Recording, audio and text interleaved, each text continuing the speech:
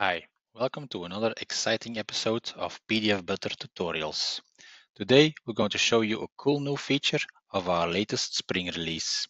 In this feature, we will actually call PDF Butler from a process builder. So as you can see in my screen, there is a process builder and it works on the opportunity object.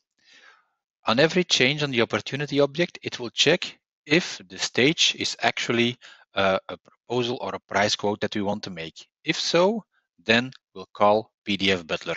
This can be done by just calling an Apex from the uh, uh, process builder.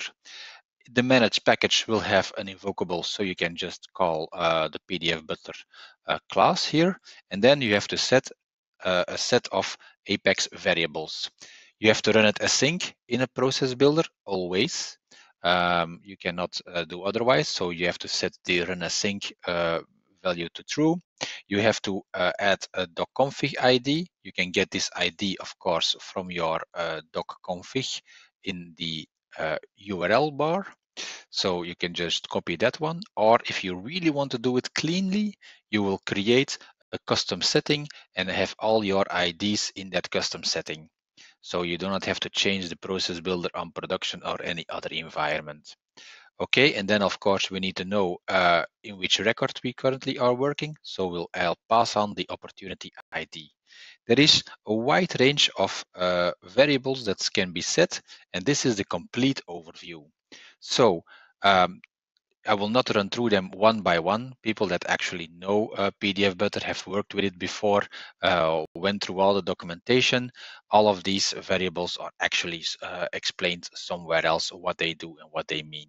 If you still need some more information, just uh, send us an email at support at pdfbutler.com and we'll help out wherever, wherever we can.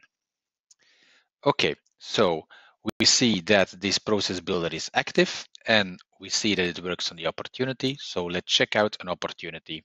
In this opportunity, you see that the stage is, is one stage before the actual stage that we need to run our uh, process builder.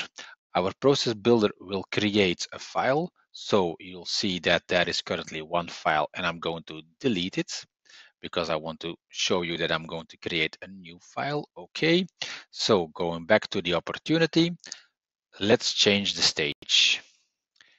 Mark as current stage. So the stage is done. So uh, in the back, PDF Butler will be called. So let's quickly refresh the page and see if there is actually an, a file added. Of course there is because calling PDF Butler just takes one second. And what we see here is a beautiful five-page document that's actually your quotes to your customer. So a really cool overview with all your branding and all your uh, information in there.